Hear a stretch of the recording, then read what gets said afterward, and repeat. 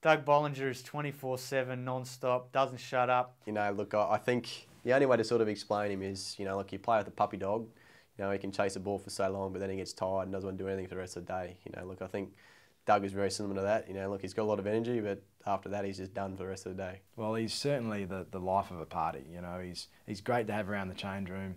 Uh, he's loud, but he's funny. He enjoys himself. Um, he's a real character, and, and don't get me wrong. At, at, at, the end of a tour, it's it's nice to have a bit of a break from Dougie, but I'm sure he'll he'll put his hand up and say the same thing. Dougie Bollinger is my roommate at the moment on this camp, and I just walked in to see what he was up to, and he was nude on on his bed.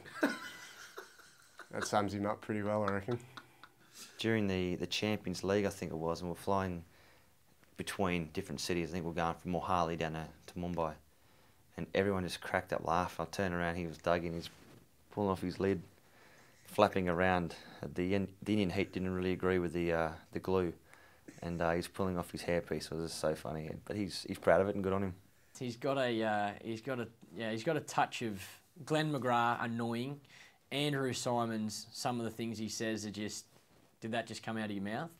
Um, I guess talent is as good as any bowler going around. Um, yeah, so funny. He does does the jokes, and if nobody else laughs, he laughs.